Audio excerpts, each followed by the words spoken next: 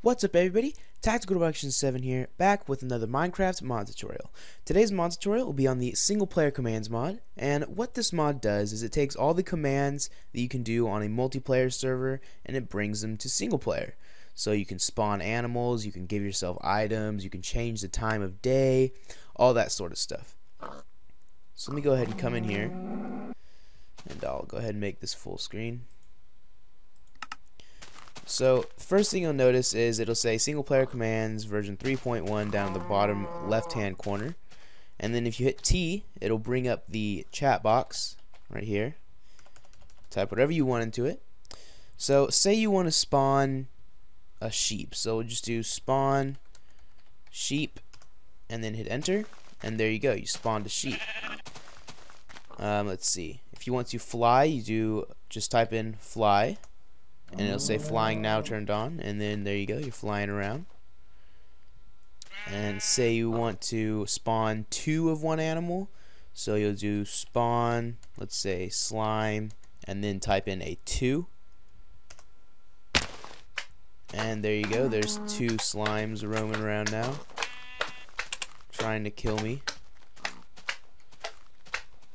So you can see that I do have it as daytime right now. So I can do I can do time night and it'll go down to sunset and then time day to oh time day okay okay. Time day and then it'll go back to daytime. One other thing you can do is if you type in instant mine with no spaces. It'll say instant mine now on. And what this allows you to do is delete everything with one hit. Or destroy every block with only one hit. So if you want to turn flying off again you just go ahead and type in fly. And it'll turn your flying off. Now giving yourself something you can just do give. And then like a random number like 52 and that is a pig spawner. Um, I'm sure it'll do if I do give sword. Yeah, so you have to know the item numbers to uh, spawn things. I think a diamond is 264, so I do give 264, 64, and yeah, there we go. 64 diamonds just throw them around because because we're diamond like that. That didn't really make much sense, but yeah. so I'm going to go ahead and cut the uh, preview for the mod here.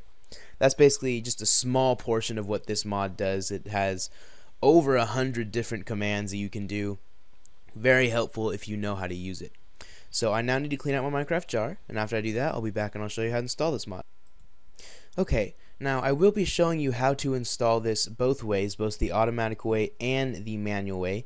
And if you're going to do this the manual way, what you're going to need is some sort of archiving program such as WinRAR, 7-zip, or WinZip. Um, they all do work the same. You can use whatever you want. I will be using WinRAR in this tutorial. And then for the automatic way, you do not need an archiving program.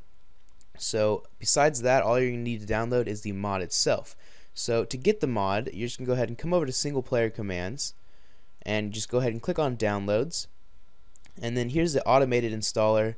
Um, you can go ahead and just do alternate download and that'll download it directly from the page. Um, so or you can do this and it'll take you to like an AdFly or something. And then we have the classic download which is the manual way. And again this will take you to an AdFly or an AdCraft I'm not really sure. And then uh, we have the direct download right here. So download whatever version you plan on doing or both if you want to try out both ways. So that is what you're going to need to install this. So I'm going to go ahead and show you the automatic way first. So if we go ahead and open this up, it'll open this little single player commands installation. And it should say users and then your name or your uh, username and then app data roaming and then your .minecraft. If you don't see this, you want to browse for your .minecraft folder. Um, you could have it back up your jar and back up your worlds and then so once this is all sorted out all you have to do is just go ahead and install version 3.1 and it'll say Minecraft jar was successfully successfully backed up since I had it back up in my Minecraft jar and it'll say installation was successful successful. Can't say that word very well. so, yeah. So now it's installed, and you just go ahead and close that and hop in your world, or you can go ahead and click Start Minecraft from there. So I now need to clean out my Minecraft jar again, so I can show you how uh, to install it the manual way.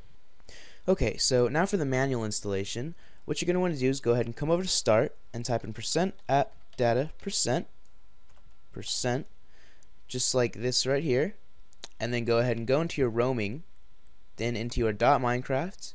Now open up your bin and left click your Minecraft jar then right click it and do open with and select whatever archiving program you're using. I am using WinRAR so I'm gonna go ahead and open it with WinRAR so drag your Minecraft jar to the side and your bin we will be coming back to this later on in the tutorial so go ahead and minimize that for now so once you have your Minecraft jar open go ahead and open up single player commands and now we do not want to put the world edit.jar or the readme text into your Minecraft jar, just the class files. So what you want to do is go ahead and click on the first class file, hold shift and then click on the second one and drag those two into your Minecraft jar and hit OK. Now go ahead and click on the settings class and hold shift and while holding shift scroll down and click on the last class and drag all those class files in your Minecraft jar and hit OK. Now, um, you should see a folder in your Minecraft jar called meta-inf. If you do not see this folder, you can go ahead and just skip this step. But if you do see it, what you want to do is left click it and then right click it and then select delete files, then hit yes. And that will delete your meta-inf. You want to make sure you always delete meta-inf when you're installing a mod or else it'll make Minecraft black screen. So now we're done with the Minecraft jar. We can go ahead and close that. And you should have minimized your bin, so bring that back up. And now this is where we're going to put the world edit.jar. So go ahead and take the world edit.jar and just drag it into your bin. And there you go. You're done installing the mod. So that was both the automatic and manual way on how to install this mod. So I hope this video helped you guys out. Thank you for watching, and I will see you guys next time.